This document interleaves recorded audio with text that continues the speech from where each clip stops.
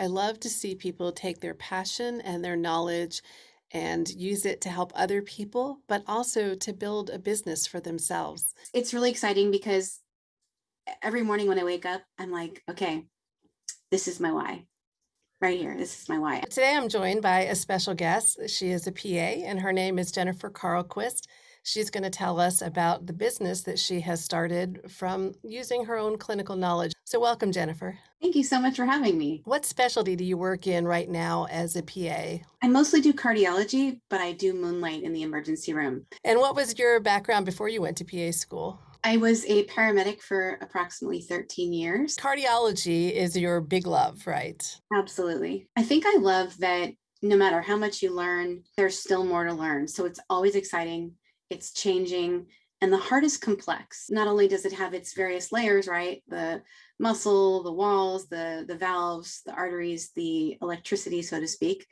There's also just all these other layers to the heart the metaphysical things like people's hearts. And and so those two things combined are really what i love. That's why i, I started painting because i realized that yeah you can take care of someone's physical heart and that's important but it's also important to take care of their emotional heart. And I think you can do both and it makes you a stronger, better provider and you get better connections with your patients. You have actually taken some of the skills that you learn from being all the way back from being an EMT and a paramedic and that you use in cardiology every day.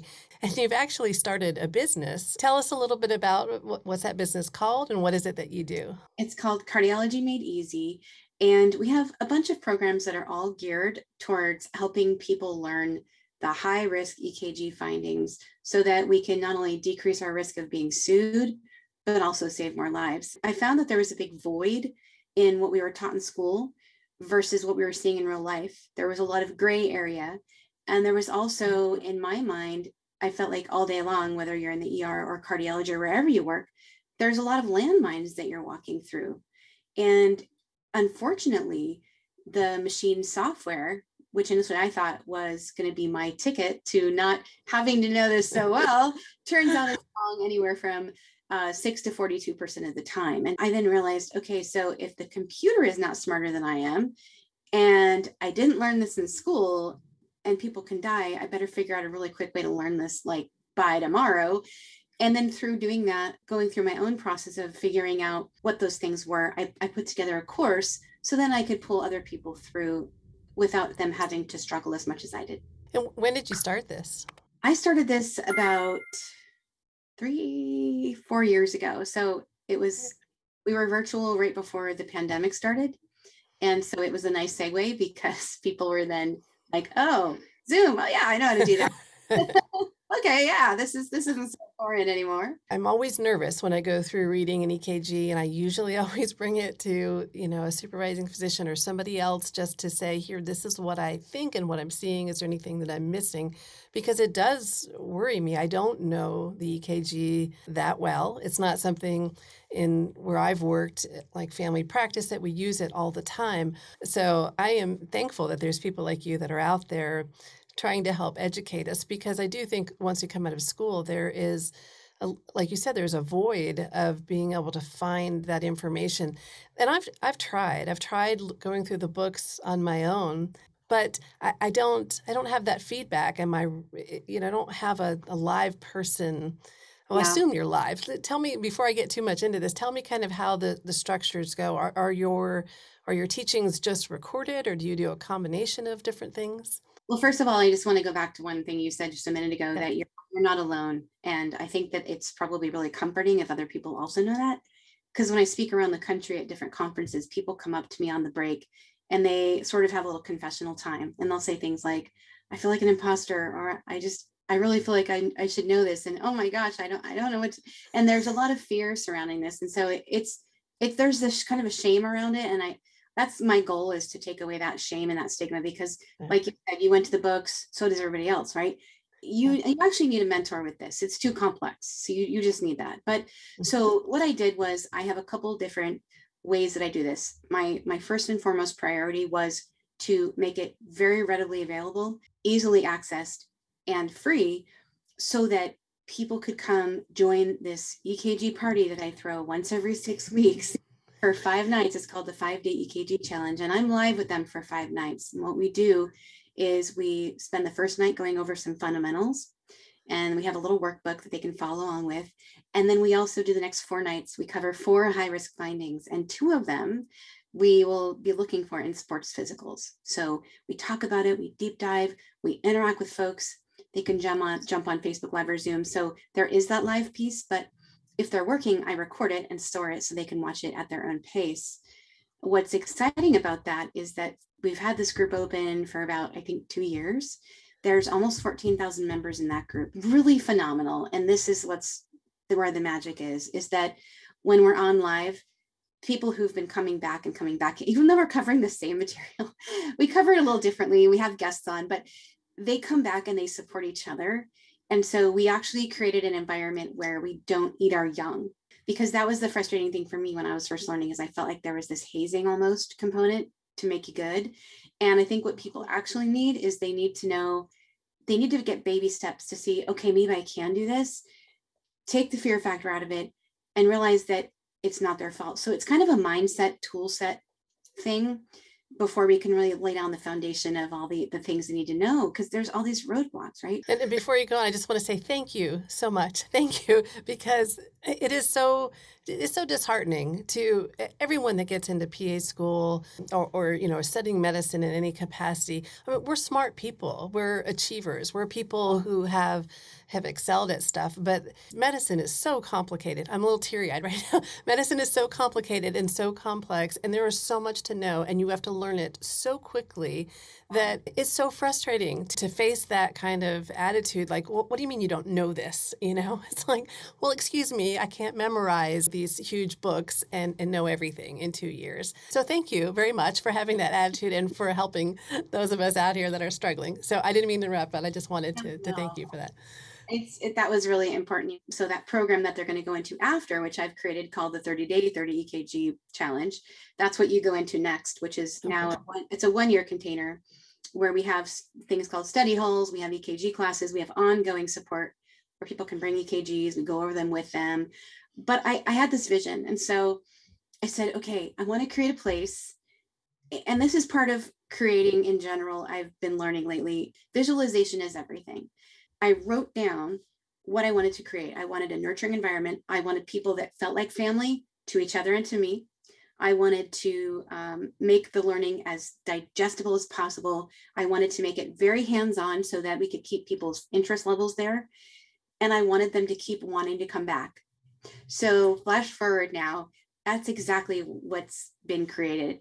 And it's just, it's so cool because people who initially felt so overwhelmed, just within a, a month, they get up and running to where we get them confident because we but basically what we do is we bring them in we do ekg terms basic arrhythmias then we do a very hands-on ekg workshop and i have seven coaches that teach with me. Oh wow. And they all came through my five day challenge and we're standing out in some way. And i've now created this team and so it's not just me it's all these other people and they're all heart-centered people who root for the students and they say things like there's no dumb questions and there isn't. And so it's just you, they get all, and then we all teach very seamlessly. So everybody has the same experience, the same views. We're all teaching the same color coding of the reciprocal leads, contiguous, right? And so we all speak the same language. We all know each other's strengths, and we kind of blend well together. And that's what's really, really neat. And now we have this year long container. We used to have it in just a one month, but we were like, people are gaining momentum and then it's time to go. So we we lengthened it and now they don't feel as pressured, which is good people are busy they need time to digest and they also need which is one, one thing i learned is repetition. They need to see it more than once to really get it because this is such complex. And then if they're in family because we have a lot of family uh, practice providers they don't do it very often. And so you know they and they need extra training that they're not getting. So we just developed a class on preoperative clearances. We developed a class on anticoagulants for the primary care provider. So they also have access to um, not just EKGs, but also things that they're going to deal with that we can help them with. So it's like we also do lipid stuff, which is so fun. Then we have two lipid specialists. We have a physician and we have an, a nurse practitioner out of Florida that come in, and it's just really, really cool. I mean, I mean, I know I love it because I created it and everything, but it's it's really exciting because every morning when I wake up, I'm like, okay, this is my why right here. This is my why. And then someone's life, you know, is changed and they're going out and saving other lives. And that's that's what's cool. When they go teach somebody else that they work with, hey, look what I found. That's really magic. So let me recap, just make sure I get this correct. Every six weeks, you do like this free boot camp where people can can join online, and you go over some of the high risk EKG findings that you can't miss, right? And so help educate people on those. And then if people want more or need more EKG training all the way kind of back to the the basics of EKG training, then they can join in your paid course where they actually can go through all kinds of different things about EKG, but then you have those bonus cardiology modules in there as well. And you said they have like a year to to go through that course. Yeah, but we we not only record them, but we keep adding new content and changing it as we go along. So the first 30 days is like just boot camp, you know, getting them strong on EKGs and then the rest they can just kind of pick their own adventure. Yeah, that's really cool. And then do you I think I saw that you do some some in-person events, correct? Yes, we're doing uh, we just did one in Los Angeles. We're doing one more this year. Well, actually a couple more, but the next one's in Monterey in May where we'll be flying in three of the coaches to come do breakout sessions. So what's really fun is we, we're going to do patient scenarios and hands-on stuff in small groups so people have that chance to ask questions that they're too afraid to ask um, and then we're also going to live stream it. It's going to be filmed in a professional studio. Oh, that's great. That sounds very exciting. Um, and I think that that's something, like I said earlier, it's something I think that is really needed. And uh, I appreciate you teaching other people what you know, the knowledge that you've gained. And I know that you want people to know that this was born out of a passion that you had, which actually always makes the best business ideas, right? but if there are PAs and NPs out there who are passionate about a topic, who have knowledge and experience and a skill, would you encourage them? Do you think it's uh, possible for people to actually make a living to the point where they could, if they chose to, step away from clinical practice? Yeah, I think it is possible. You just have to create a model that the prices they would charge would be a little bit higher, right? So you can have a higher profit margin. But I think that there is a strong need for mentors. So, like, for example, if a, a derm NP or PA was starting something like this, what they could do is do a challenge with rashes. Like, what do you think this rash is? Right. And then go up live, talk about the rash. And then maybe they do a course where, you know, they have common rashes, but then they could also have live interaction, like maybe one live call a month where they could talk about rashes that people have come across. How did you approach it? You know, maybe bring pictures.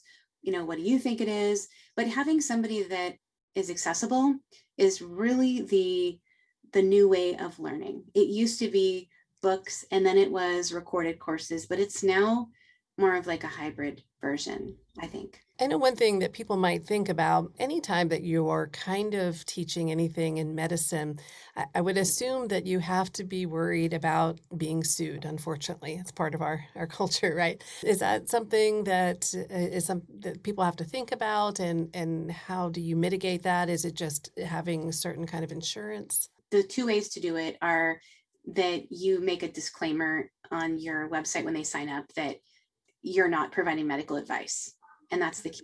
And then there is a through our malpractice insurance we can get a speaking writer um, that i've also purchased as well. So those two things offer layers of protection. But one thing that i, I have noticed that people often put ekgs in and they'll say what do you think? And it's an active patient. And unfortunately I'll say to them, "Oh, you know, we're we're not able to answer questions about active patients, but you know, we can certainly talk about an EKG, and that sort of helps guide the conversation too for for mm-hmm. folks. So I think you just have to reframe that you're you're educating and it's not actual medical advice. But is there anything else specific to teaching a course that that you've kind of run across that maybe surprised you or that people may not think about? Yeah, I think you know when you have people who um, have a hard time with the tech that's that's hard when you're doing something virtual.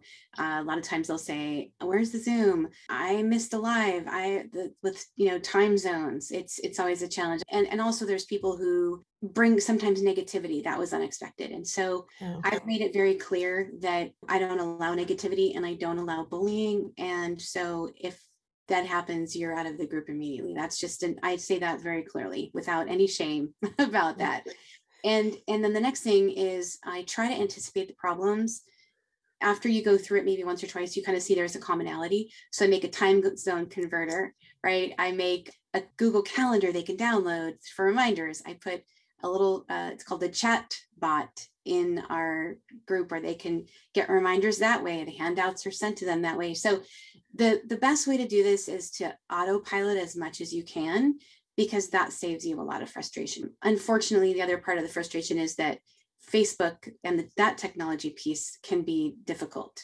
because with all the changes on the platform, people a lot of times ask me, well, why do you why do you do your classes on Facebook? You know, especially because not everybody has Facebook.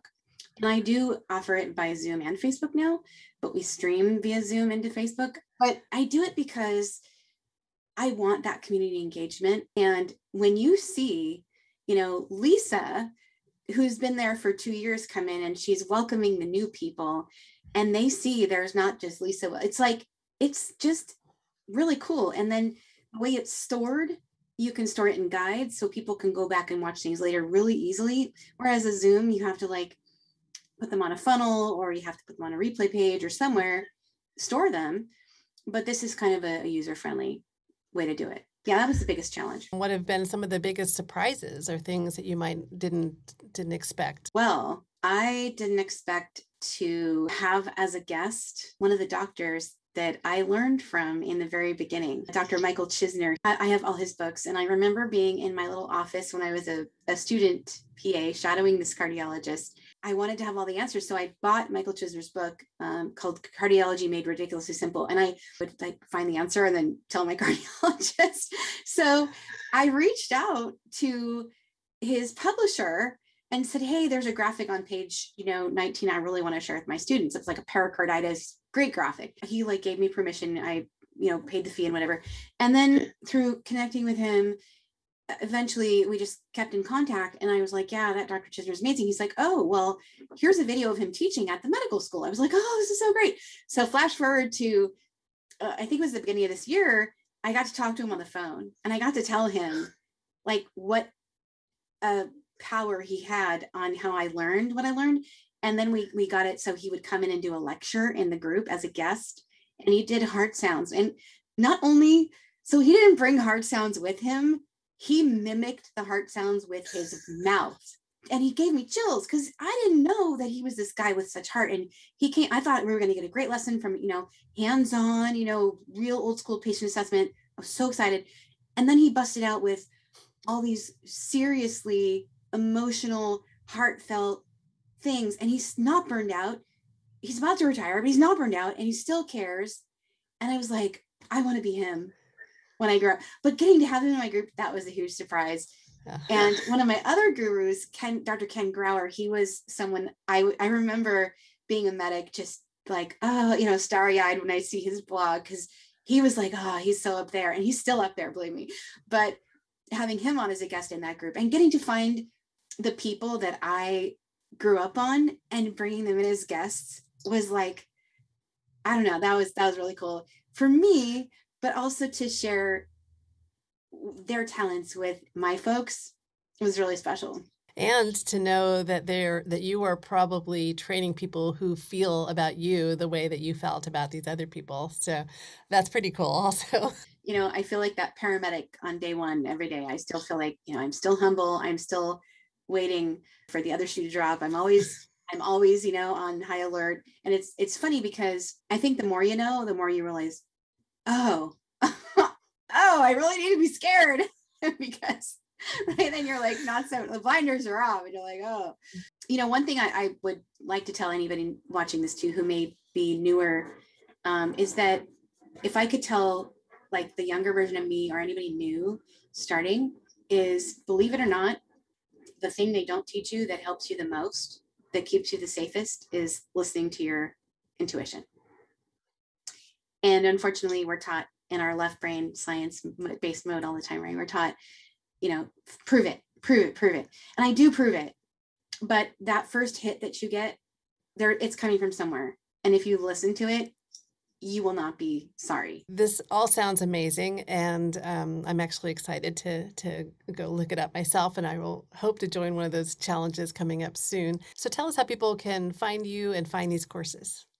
The easiest way is just to go to conqueringcardiology.com and that has the link for the five day challenge or the, the paid courses as well. But there's also Instagram Cardiology Made Easy. That's another good way to uh, contact me as well. Okay. And I will put those links down below in the description box. Uh, if you are interested and want to go check it out, just head down down below and you can get right to where you need to be. And I just want to thank you for the work that you're doing. It does sound like a labor of love. It sounds like something that was born out of, of your passion for cardiology and for people in general. So I wish you all the best in this. And uh, like I said, I'm excited to check it out. Thanks for joining us today. Thank you, Michelle. If you would like to build a side business, or maybe even a business that's large enough to allow you to step away from clinical medicine if that's what you wanted, then I would challenge you to look at your skill set. Look at all of the things that you have learned and experienced, and think about the things that you really enjoy and what you would like to teach other people about. This is an opportunity that I think is wide open. There are lots of continuing medical education courses out there. But if you niche down, if you find that one thing that you are really good at and that you have a passion for, you definitely have a chance to make a great business out of it. I really hope you enjoyed this. On my channel, I am trying to show PAs and NPs all the opportunities that they have. I'll link some of those videos here. Thanks for joining me. Take care, and I'll see you next time on the Medicine Couch. Bye.